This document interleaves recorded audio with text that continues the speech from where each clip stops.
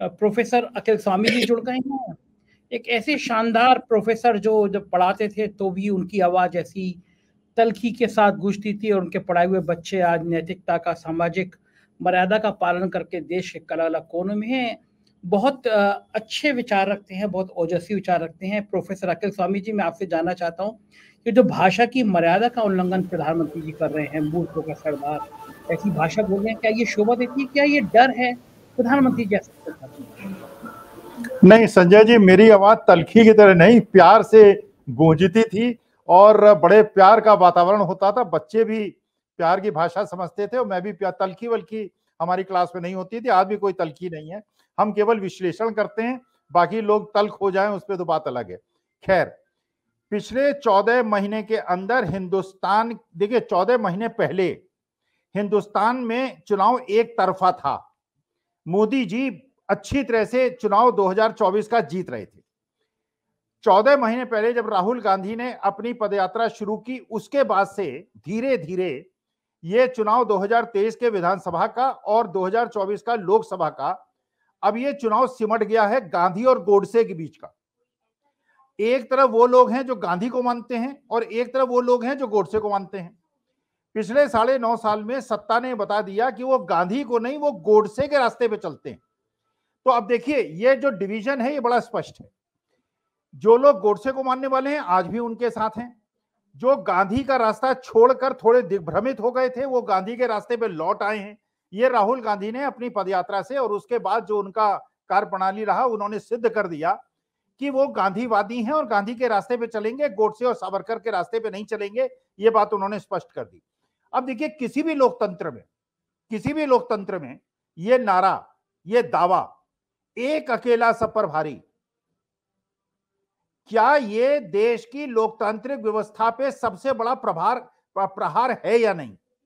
लोकसभा के अंदर कोई व्यक्ति कहे, एक एक अकेला, अरे आप एक अकेले, आप जो हैं, आपको बनाया जिन्होंने है, वो करोड़ों लोग गाँव में सिंचाई कर रहे हैं, वो बीज रोपण कर रहे हैं वो मोटरसाइकिल पे घर घर लोगों के सामान पहुँचा रहे हैं, नॉन एयर कंडीशन ट्रकों में चौदह चौदह पंद्रह पंद्रह घंटे चल रहे हैं।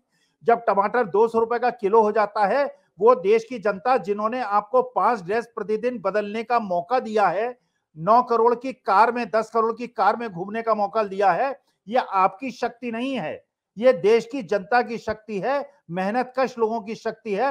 वरना अडानी जी के पास भी एक वोट है और करोड़ों वोट जो है झुग्गी झोपड़ियों का है जिन्होंने आपको प्रधानमंत्री बनाया है। देखिए, वास्तविकता ये है, ये देखिए, मैं इस बात से सहमत नहीं हूँ कि मोदी जी मिजोरम इसलिए नहीं गए कि वहाँ 80 परसेंट पॉपुलेशन क्रिश्चियन है। देखिए, ये चुनाव उसी प्रकार का हो रहा है इंदिरा गांधी के जमाने का, ना जात पर, ना पात पर। अब ये क्रिश्चियन और हिंदू और मुसलमान की बात छोड़ दीजिए। ये तो एक प्रकार का इन्होंने प्रोपेगेंडा बनाया है कि मणिपुर इसलिए नहीं गए क्योंकि वहाँ पे मैती और कुकी और कुकी जो है वो क्रिश्चियन है। अरे कुकी क्रिश्चियन नहीं है, वो आदिवासी हैं। वो आदिवासी अच्छा फिर वो बांग्लादेशी हैं, वो म्यांमार के लोग हैं। तो इस प्रकार का जो एक राष्ट्रवाद फैलाया जाता है, वो भारतवासी हैं, वो देश के रहने वाले हैं और इस देश का अंग हैं और आदिवासी हैं।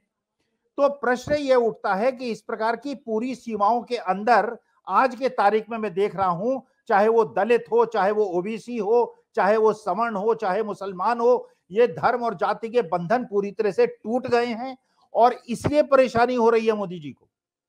इसलिए परेशानी हो रही है बीजेपी को कि बड़ी मेहनत से उन्होंने जहर की जो फ़सल बोई थी, वो कटने से पहले ही सूख गई।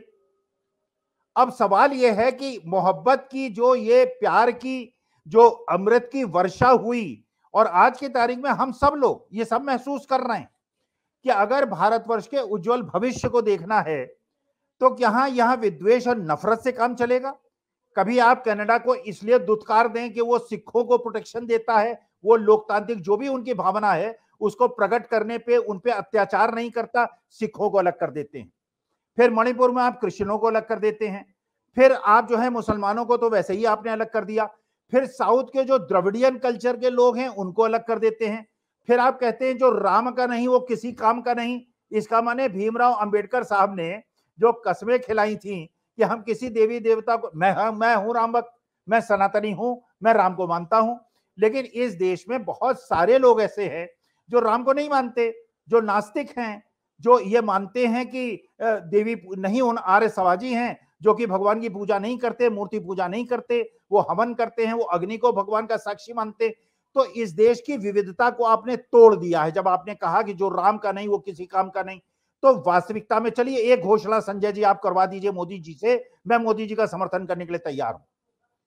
राम का मंदिर जब बन जाएगा, उसके अंदर कम से कम 50 प्रतिशत ओबीसी पुजारी होंगे। उसके अंदर कम से कम 30 प्रतिशत पुजारी दलित और आदिवासी होंगे। बाकी 20 प्रतिशत ब्राह्मणों के लिए सुरक्षित कर लीजिएगा।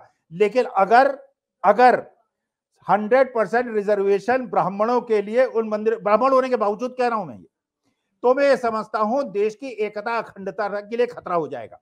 दूसरा ये कि आरएसएस प्रमुख कल अगर इस्तीफा दे दें अपने पोस्ट से और वहीं किसी दलित और आदिवासी को, किसी ओबीसी को वहाँ पे आरएसएस का प्रमुख बना दें तो वो उनका सहयोग करने के लिए लेकिन अगर आप ओबीसी को केवल नारे लगाने के लिए, लठ लगाने के लिए, उनको कामण यात्रा के लिए और फरसे और गड़ासे और कट्टे लहराने के लिए यूज़ करना चाहते हैं, वोट में उनको हिंदू बना लेते हैं, फिर उनके आदिवासियों के चेहरे पे पेशाब कर देते हैं तो मैं मानता हूँ कि देश कमज़ोर हो रहा है। और मेरे लिए मेरा धर्म जितना इंपॉर्टेंट है, जितना जाति मेरी इंपॉर्टेंट है, उससे ज़्यादा भारत माता इंपॉर्टेंट है और भारत माता इनके कुकृत्यों से कमज़ोर हो रही है।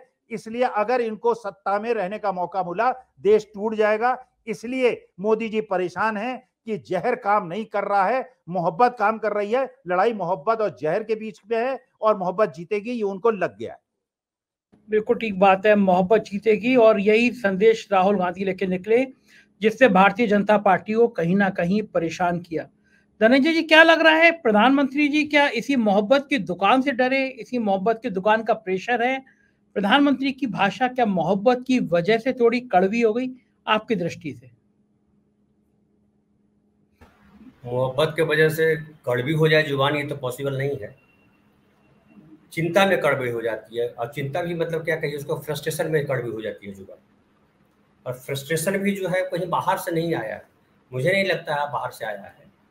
उन्होंने खुद फ्रस्ट्रेशन लाया है अपने पास। उसकी दो वजह मैं बताता हूँ आपको। बाकी तो सारी चर्चाएँ हो चुकी एक तो ये है कि हमारे देश में हर साल जो है रावण का पुतला जलाया जाता है। सबसे ज़्यादा रामलीला होती है। रावण का पुतला जलाया ही इसलिए जाता है कि अहंकार का नाश हो। लेकिन आप देख लीजिए कि मोदी जी अहंकार से कितना दूर है। वो आपको हर हर पल पता चलता है। एक वो हम द्वितीय नास्ती। केवल मेरी बात करो बाकी किसी की बात मत करो। शीतल भाई साहब ने शुरुआत में ही सारी बात, बात बता दी।